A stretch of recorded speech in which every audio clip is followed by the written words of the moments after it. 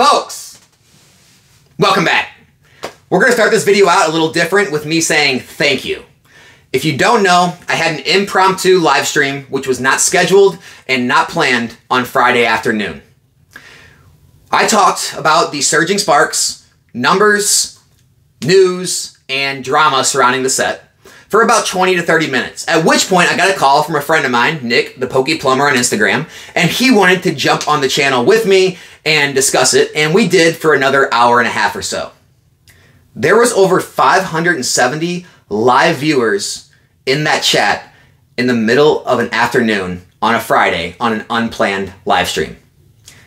Guys, I haven't seen numbers like that across the entire Pokemon investing, market, business, or finance related space ever since the OKJ Love stream, where OKJ Love, myself, Cool Trainer Ryan, Opossum Bud, many other creators all came on the live, and there was a big discussion, debate over Pokemon investing.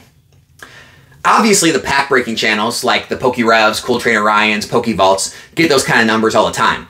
But to have that many people show up to hear an intelligent conversation about the finances behind their collectibles and not just tune into a pack break stream to just kind of turn their brains off and be entertained watching the pretty cardboard. That's a huge deal, guys. And I'm not talking a huge deal for my channel or for the Pokemon Plumber and all that good stuff. For the hobby. Guys, the video already has over 10,000 views in the first 24 hours of being released on a two hour live stream. That's insane. And this tells you the strength of the hobby and where we're at. This tells you how many more people today than before are worried about the finances behind the collectibles they're putting their money into. It's no longer people just wanting to open packs and throw them in a binder and watch packs being opened. No, no. The market's changing to more and more people worried about the market, their business, their investments, and the finance behind all this stuff. And so us being in the middle of this bull run, the best bull market we've seen since COVID, and this much attention on this side of the hobby, it tells you this isn't going anywhere. It tells you this market is going to continue to be strong and long into the future. And um, I thank everyone for showing up and showing the support, but it's less about that and more about what it says about the hobby. And so, just going to throw that out there. Now, I know a lot of you enjoyed hearing me and Nick talk. Um, the Pokemon Plumber will be a more frequent guest on Nostalgianomics going forward, so you don't have to worry about that. And uh, we'll have more good discussions like that going forward. But I do want to discuss uh, a few topics today. One of the topics is uh, the Surging Sparks topic that came up during the live stream in the comment section and the chat. And people were not really saying I was lying, but saying they knew uh, other store owners that got their full allocations. Other YouTubers are saying they got their full allocations. And uh, this seems like unnecessary FOMO. So let me set the record straight there are smaller LGS stores and smaller buyers out there, maybe who got 50 boxes or 100 boxes, and they got the same amount of boxes from Stellar Crown as they got for Surging Sparks. Or you may have other YouTubers out there who maybe order one, two, three, four, 500 boxes on a set, and they got their full allocations as well, okay? I'm not talking about them. I'm talking about the guys who actually run the market. The guys who actually set those floor prices on eBay and TCG Player. The guys that are ordering four, five, six, seven, ten thousand boxes of a set. That those are the ones that matter, right? All of those guys got cut. Okay? I'm not gonna speak in all their names and numbers, but I will tell you, Eli, Pokemart USA, who I have my weekly Tuesday live stream with, he was offered 3,600 boxes of Stellar Crown. Okay?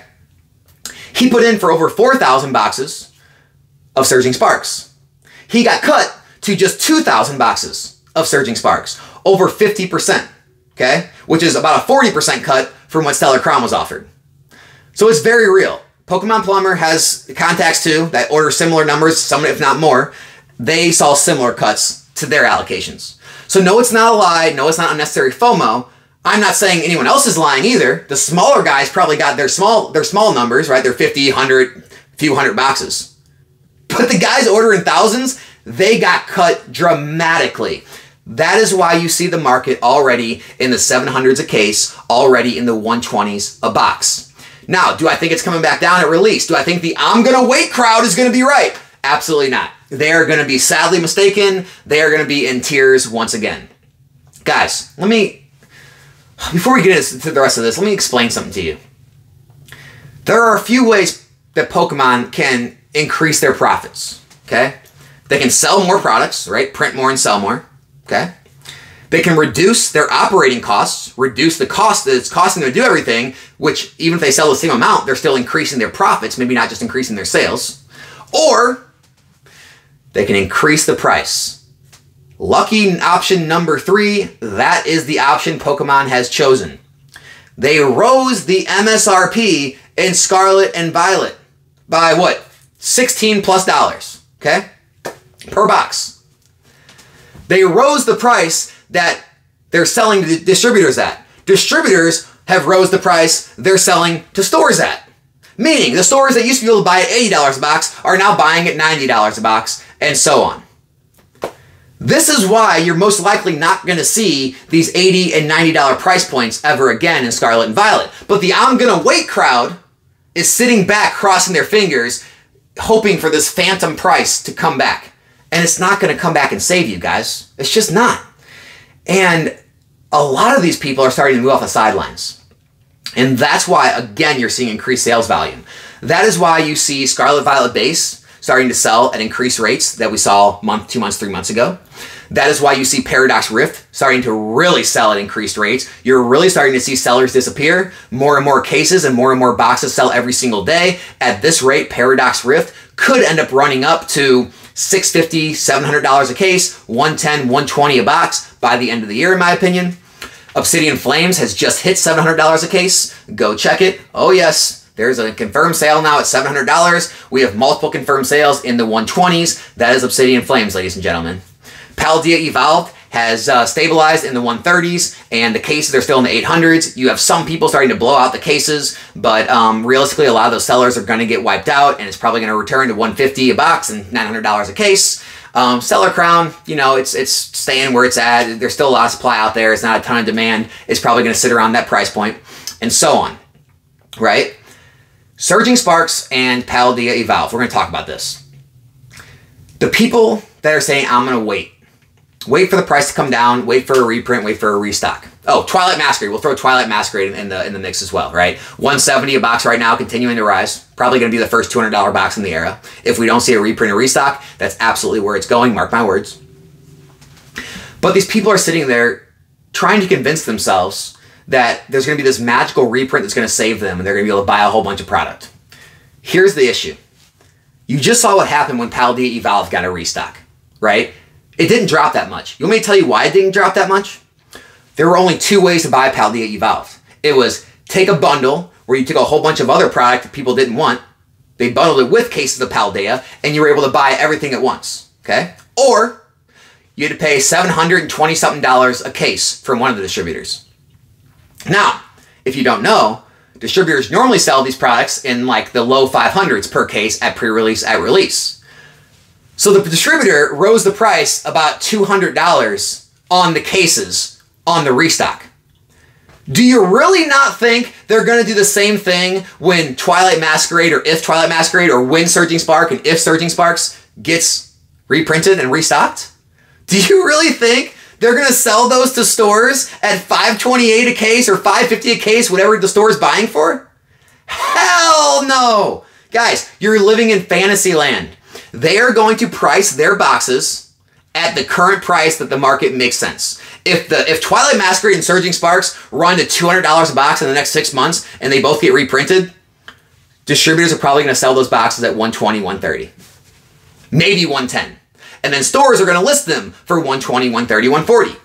And so, sure, the price will drop, but it's not going to drop to the lowest prices you could have bought them at, which was a few weeks ago at pre-release, which is probably still now at pre-release. That's the truth of the matter. Not just that. Let me paint another scenario for you. Let's say by the end of the year, we get no news of a restock coming for Surging Sparks and no reprint, right? What's more likely? That the set drops or it rises? It rises, right? So, what's a better idea? To cross your fingers and hope for a reprint that you can buy any cheaper, or just overbuy cases, overpay for them, right? Which is more than nor- you normally pay right now in the market. Let them rise to $800, $900 a case. Sell off the extras, reduce your cost basis in the cases that you're keeping, and now you have cases again at $600 or $550. It's that simple. Just play the market that the market gives you. And guys, it doesn't matter what I say on my channel. It doesn't matter what some YouTuber says about their allocations or what some YouTuber says about this is FOMO and, and uh, inorganic demand and hype and all that stuff. The market is going to do what the market's going to do. You can either play into that market or you can sit there and scream and cry about how the market's unfair and it shouldn't be this way. Those are your two choices. I don't care which one you do. You can scream and cry all you want. You can scream and cry in my comment section. You can talk about how the kids can't afford the cards and the players can't get their cards and all this other BS. The fact of the matter is, Pokemon is raising the price of their items, whether you like it or not. This is inflation, baby. Everything's more expensive. Your Pokemon cards are going to be more expensive as well. You're not going to be able to buy boxes at $80 and $90 anymore. Get over it. They're going to be 110, 100, 120, whatever it may be, and you're going to deal with it. Or you can just leave the hobby. It's that simple. Either you deal with it, or you get mad and you leave the hobby and say it's all too expensive. Or hey, here's an idea go buy Japanese cards. That's why people started to buy Japanese cards in the beginning back in 2021. English got too expensive, everyone flocked to Japanese because it was cheaper. And then Japanese got too expensive, and everyone was just mad at everybody. I mean, it's like collectibles are supposed to have value. It's the simplest statement I can make. Collectibles are supposed to have value. If Pokemon overprints them to the into oblivion, the stores can't make money, the distributors will not get orders from the stores, the distributors will not be able to take more product from Pokemon. Okay? If they're overpriced, they won't sell, and stores will have to reduce the cost to make them sell and they'll have to run sales, right? This is how the market works, right? If stores aren't buying from distributors, distributors will run sales. And that way stores will buy from them again, right? They'll blow out certain products, whatever. And this is how markets work. It's very simple, guys. It's all supply and demand. If there's still enough demand at 120 a box, why would anyone in their right mind reduce the price? What sense does that make? They're selling out at 120 a box. The only logical explanation would be to raise the price and find an equilibrium where people are still buying at a high enough rate and, and you're able to raise it to the point where people stop buying. It's that simple. It's literally that simple. There's no there's no other like, you know, manipulation tactics behind the scenes, right? Here's the other thing. If Alex wanted to manipulate an item, why would I do it with an item that even I can't get as much of as I want? What sense does that make? Right? Wouldn't I just like go to the distributor and be like, what do you guys have tons of that I can buy an infinite amount of? Uh, well, we still got a lot of Paradox Rift. You want that? How many you got? Uh, we got, you know, 500 boxes. All right, great. Hold that. Give, give me that.